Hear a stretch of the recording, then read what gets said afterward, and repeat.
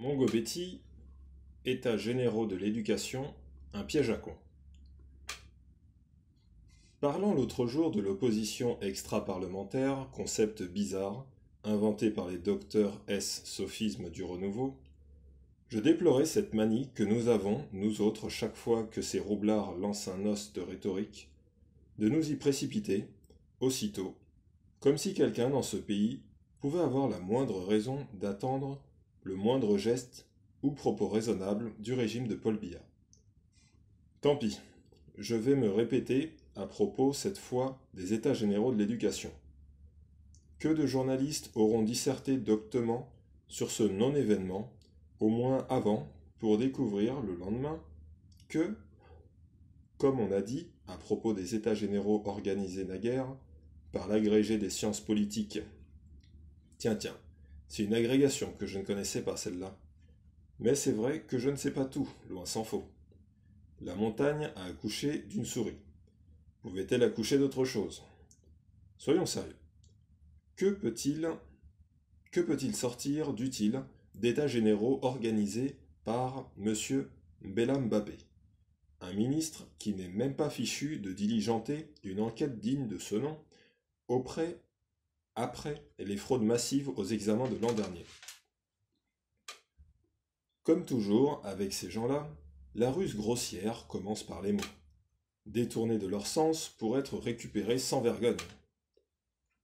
L'expression États généraux vient d'une réunion historique de représentants du peuple français, représentants dont quelques acteurs sont entrés dans la légende en prononçant des paroles cinglantes contre la monarchie de droit divin ou en enclenchant l'engrenage de la Révolution de 1789.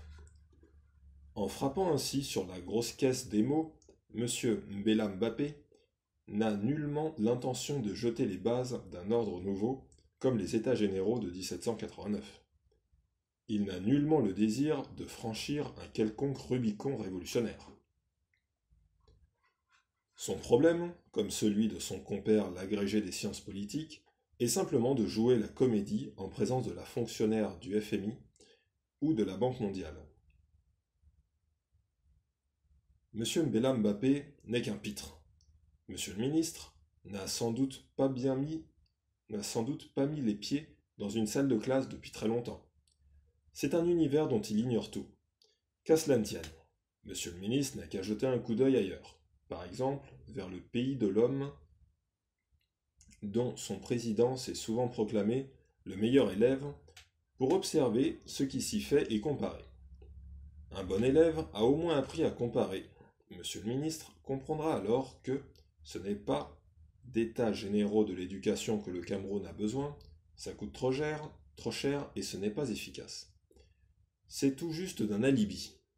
C'est tout juste un alibi. En revanche, l'éducation nationale au Cameroun a besoin d'un bon coup de balai. Ça ne coûte rien, c'est vite fait, et c'est salutaire. Monsieur le ministre est-il capable de donner un coup de balai dans ces écuries d'Augias, où, dit-on, la pestilence et la corruption soufflent en tempête à tous les étages? Stricto sensu, y a-t-il encore une éducation nationale au Cameroun? Qu'il me soit permis d'en douter. Sans vouloir offenser ou désespérer mes compatriotes, qui ont des enfants à élever, et qui veulent à tout prix y croire, il est des pratiques courantes au Cameroun, qui finissent par assassiner une institution. J'ai déjà raconté ailleurs l'anecdote suivante. C'était en 1993 et j'étais venu passer mes vacances de juillet-août au Cameroun. Une parente très proche, mère célibataire, me demande de l'argent pour inscrire son fils à l'école maternelle. Bien entendu, j'accepte sans hésiter. Je me figurais que, comme en France, ce serait tout au plus l'affaire de 2000 francs pour l'assurer, pour l'assurance de l'enfant. Quand j'ai appris la somme à verser, je me suis mis à hurler comme un condamné à mort au moment où l'on dévoile l'échafaud. C'est 25 000 francs CFA d'avant la dévaluation que j'ai dû payer. Je reviens au, au, pays de Noël, au pays à Noël. La jeune mère célibataire me sollicite à nouveau en disant les enfants sont laissés à eux-mêmes à l'école. Personne ne s'occupe d'eux. Alors la directrice m'a dit Si tu veux qu'on s'occupe de ton petit, il faut venir motiver les maîtres. Je suis tombé des nues. Rien d'étonnant. Je connaissais encore assez mal les profondeurs de la putréfaction ambiante. J'arrivais d'un pays où l'État, par tradition, est prêt à consentir tous les sacrifices pour l'éducation des enfants. Conséquence, l'école en France est totalement gratuite, de la maternelle à l'université. J'ai dit à la jeune mère, motiver les maîtres, ça consiste en quoi? Elle a frotté deux doigts de sa main, l'un contre l'autre, un geste très éloquent qui signifie Il faut casquer. J'étais outré. Je lui ai dit Il n'y a donc pas une association de parents d'élèves dans cette école? Il faut refuser. Vous venez de payer 25 000 francs par enfant C'est une somme énorme. Qu'a-t-on fait de cet argent? Et d'abord, combien y a-t-il d'enfants dans cette école? Elle m'a répondu 2000. La directrice avait donc encaissé 50 millions de francs CFA d'avant la dévaluation à la rentrée. Et à Noël, elle redemande de l'argent aux parents. C'était une situation parfaitement incompréhensible pour moi, du moins jusqu'au moment où j'ai dit à la jeune mère Tu veux bien m'emmener demain dans cette école? J'aimerais poser deux ou trois questions à la directrice sur la destination de l'argent qu'elle a collecté à la rentrée. Une véritable panique s'est emparée de la jeune mère. Elle a dit en bégayant Non, non, surtout pas ça, je t'en prie. Cette femme pourrait prendre mon petit José en grippe. J'ai alors commencé à pénétrer vraiment le phénomène camerounais de la corruption et du racket à l'école, ses filières, ses mécanismes, ses profiteurs. C'est-à-dire tous les responsables, du plus haut au plus bas, ministres et sous-ministres, fonctionnaires enseignants ou non enseignants, ses victimes, surtout ses victimes.